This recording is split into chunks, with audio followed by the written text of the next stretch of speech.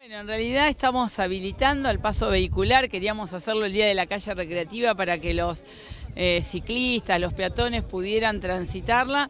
Nuestra idea en el plan estratégico que desde el puente Rosario Victoria hasta el arroyo Saladillo pudiéramos recorrer eh, unido a nuestro río todo el camino. Y bueno, este trazo de Avenida de la Costa, ustedes saben, nos costó mucho, tuvimos que trasladar eh, la parrilla ferroviaria, pero por fin está terminado hasta Calle Oroño.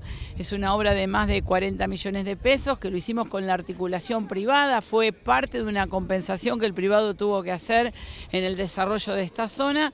Y obviamente ya licitamos y abrimos los sobres para la última etapa que sería Oroño Dorrego. Así que bueno, en cinco meses más tendremos toda la avenida, pero hoy queríamos dejar, después de tantas vueltas de venir desde el norte y perdernos por Francia y otras avenidas, queríamos que a partir de las doce y media, cuando se levante la calle recreativa, quede habilitado al tránsito automotor. Aquí vamos a tener un nuevo problema en Calle Oroño, donde va a tener que girar, pero bueno, va a ser por poco tiempo porque ya está licitada y abierta la licitación para completar esta avenida hasta calle eh, Dorrego, con luces LED en la parte que nos falta, porque nos quedó una parte con luces LED y otra parte con luces más eh, antiguas, pero bueno, en muy poco tiempo toda terminada. Y hoy, pero disfrutando de, por fin podemos venir del norte y llegar al centro de la ciudad por la Avenida de la Costa.